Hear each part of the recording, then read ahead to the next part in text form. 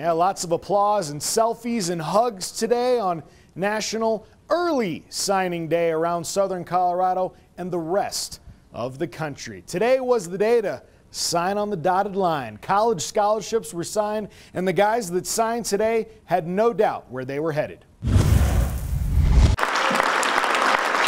Big life steps ahead, and a lot of them will be on a football field for these four.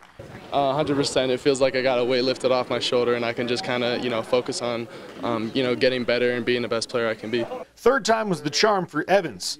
Palmer Ridge quarterback decommitted from Arkansas, then CU, before finding a new home at North Carolina State University you do have to go to school because of the people around you. Um, you can go get an education anywhere you want, but it's the people that, that make it special, and it's the people that you know make you want to be a better person. Aiden Cullen is staying closer to home at Colorado State. The lineman joins Mike Bobo's team in Fort Collins. He loved the recruiting process, but so glad it's all over with.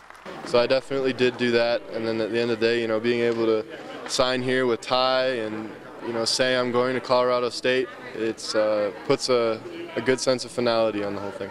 Kain Medrano's trading in black and gold for blue and gold, and a lot more warmer days ahead at UCLA.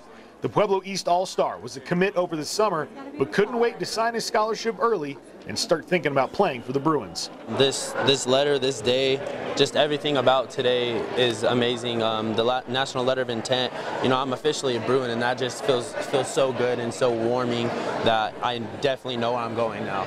Staying in the Pac-12, Arizona State gets a native son back in Elijah Bates.